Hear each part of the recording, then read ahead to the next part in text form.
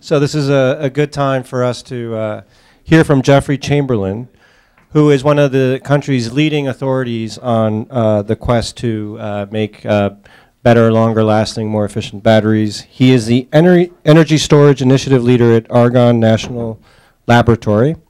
Um, as you might have seen when you walked in, uh, we have a bit of a investment game gimmick uh, which is uh, for those of you who have a million dollars lying around uh, and maybe in, in between your cushions and your sofa or anywhere else, if you had to invest in one technology, and we do not allow for any kind of diversified portfolios here at New America, which one of these would you pick? And so throughout the day, you can, you can text your answer. Um, I think the idea is what will be the best return between now and 2030, although uh, it's, it's, uh, I was reminded by Paul Roberts that the uh, average length of a holding of an investment these days is four months. So you can sort of pick your timeline. But the idea is look forward to 2030. Um, so Jeffrey, uh, the floor is yours. Thank you. Thanks for the introduction and thanks for inviting me here today. Um, it's really been a joy to watch the first couple of panels, particularly some of the more provocative. I found some of the statements uh, in the first talk provocative and began asking myself the question, uh, um, am I, am I, is my existence being questioned? Uh, and I think it is, and that's it's appropriate actually. Um, and I was thinking, like any good scientist, I have about I have ten minutes, and I have about twenty five points to make in those ten minutes. No, but I'll, I'll narrow it down to one point with a sub point. And the point I'd like to make in the next ten minutes, I'm going to tell some stories in the next ten minutes but the point I'm trying to make through those stories, I want to make sure I get across at the beginning, is electrification of the light duty vehicle fleet in the world and in the US is happening.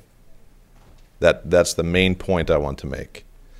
The second point that's underneath that point is that the US is behind the rest of the world in the race to electrification. And the reason that's important the, the, reason, the way we're behind is in manufacturing, not technology development. The reason that's important is wealth generation. And we could argue all we want about uh, environmental security and economic security and energy security, and those are all important things. But wealth generation, from my perspective, is what we risk losing by not winning the race to electrification. So that said, I want to start with an anecdote. Um, British Petroleum came through the lab this summer, a, a large group of executives, um, marketing specialists, and technologists to try to understand. And they pulled, they pulled battery scientists from around the world, the leading battery scientists from around the world, and convened in Chicago, and we met at Argonne. And BP was trying to understand battery technology and what it means. And when I was privately meeting with the top executive in the meeting, I asked him okay, why are you really here? you gave us all these reasons in the presentation, but what's the real reason you're here? I'm, curious. Is BP going to make batteries, or are they wanting to make sure that the, the batteries never win this competition? His answer was at, at British Petroleum, they understand that their business model is not infinitely sustainable. The question of 2030, I, I'd predict 2030 internal combustion engines will still by far dominate. But even BP was saying sometime in this century, they recognize as a company that their business model is not sustainable. And so they were there to try to get an answer to the question what will supplant oil? Not in the next 10 to 20 years, but in the next 50 to 80 years. And then another point I'd like to make is when you think about this question of electrification, to overgeneralize, I like to ask the following question or put it this way in terms of investing in the infrastructure for electrification, both in terms of research and manufacturing and the grid infrastructure or cordless um, while you're driving, charging, as we just heard in the previous panel, either we're too late in making that investment or we're too early or we're on time.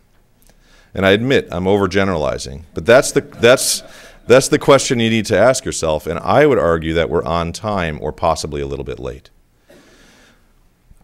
And what I mean by electrification is happening. I just wrote down a list this morning of companies that I know that are that are developing and in the process of rolling out hybrid electric vehicles or plug-in hybrid electric vehicles based on the lithium-ion battery, not the nickel metal hydride that's in the Toyota Prius. And here's a short list, and I'm sure I'm missing some companies: GM, Ford, Chrysler, BMW, Audi, Mercedes, VW, Honda, Toyota, Nissan, Hyundai, not to mention smaller companies like Tesla, Fisker, BYD, and China. That is an impressive list. And that's different from, remember, I'm a scientist, I'm a technologist, I'm not an economist, I'm not a policy guy. But when I, when I see the investment that these auto companies are making and the battery companies in Asia are making, not, being, not having an MBA, I have to make an assumption there's a reason they're making that uh, investment. That's a very powerful list, and it's very different from 15 or 16 years ago when the EV1 uh, was being rolled out by GM. Now, I, I, noticed the Chevy Volt was not in your list, and I, I, I know um, Bruce had to go through just a few cars, but I want to talk a little bit about the Chevy Volt. And it reminded me, Tony Tether made a comment at dinner last night about changing architectures and the way we think. And the Chevy Volt does that. And there are multiple cars that are series hybrids like the Volt. But in case you don't know, and I hope you do, the Chevy Volt is an electric car and it has on board a generator. That generator is uh, an internal combustion engine that relies on gasoline, but it spits out electrons. And it either charges the battery or it sends electricity straight to the electric drive. So it's a so called series hybrid. It's an electric car. After you charge the battery, when you deplete that battery, the generator kicks in and supplies electricity to the drivetrain of the battery. Now, that may seem like a fairly bland technological innovation, but it accomplishes two major things. And I'll tell you, they loaned me one, Chevy loaned me one for a week to drive. And it, I have to say, it screwed with my mind a little bit driving this car. And especially when I loaned it to my wife, she was constantly concerned about when am I going to run out of the electricity? How far can I drive this car? Which is the common feeling when you're driving an electric car range anxiety. So Chevy has solved that range anxiety question by allowing you to carry around liquid petrol, liquid fuel, and, and, about 10 gallons of it. So you can always drive 350 miles whenever whenever you feel like it. But between 70 and 80 percent of commuters, uh, uh, um, sorry, drivers in this country, spend drive less than 40 miles per day. But the real important technological innovation that's that harkens back to Tony's comments at dinner last night is that it's a change in the architecture that what we have been trying to do is supplant or replace the internal combustion engine. And I should have started by saying that's never going to happen. Not in my lifetime, not in my children's lifetime, not in my children's children's lifetime. So all the attempts to replace the internal combustion engine have been an attempt at a one-way swap out. But this idea of decoupling the electrification from the internal combustion engine is clever because now you have a platform where when you improve the battery technology, you can decrease the size or cost or increase the range by having a better battery. Or you could in, improve the, the efficiency of the internal combustion engine or move to biofuels as a whole wide range of options that are going to be enabled by this change in a platform technology. Not to mention, if you talk to artists or designers, and we heard this from the previous panel, you could design a whole different type of vehicle when, you, when you're getting away from the gas drive powertrain. Next point I wanted to make is what are we doing at Argonne? And, and I wanted to say, I think we heard this in, the, in both panels this morning. It is all about economics. It's all about home economics, and when it comes to businesses, it's all about the economics of that business. And you hear a lot of material science. So we do a lot of materials research at Argonne. They do a lot at, at Berkeley, our sister national laboratory, um, Lawrence Berkeley National Laboratory, MIT, University of Texas We do a lot of materials research to try to make better performing materials so you can carry around more energy efficient, efficiently. And safety is always a primary concern as well. But in my opinion, I would argue it's all economics. Even safety is economics. So I think I resonate with what I was hearing in the panels earlier today.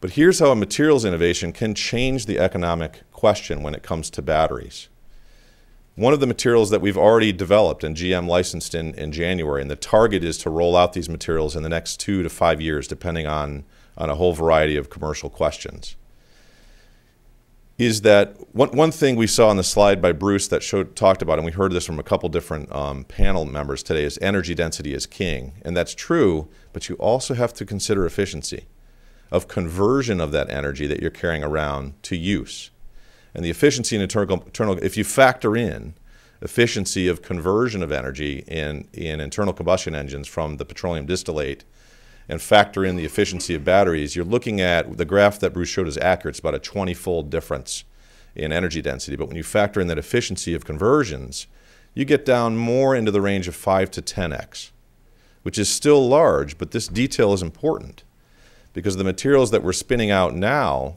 in the Chevy Volt, I'm going to go back and I promise I'm not a commercial for GM, but I know that technology better than most.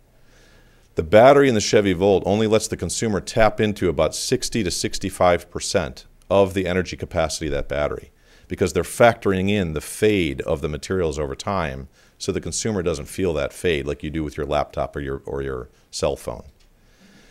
So when we've, we've developed a material that you can pack almost twice as much energy into, but it's also significantly more stable so that fade doesn't exist in the material. So all of a sudden you can pack in twice the density and not have to over-engineer the battery at 40 to 50% over-engineering. So suddenly the cost becomes, the overall cost gets reduced by 3 to 4x as opposed to just a 50% improvement. So I just that's the kind of work we do at Argonne, and I just wanted to point out that that's that is where we're headed.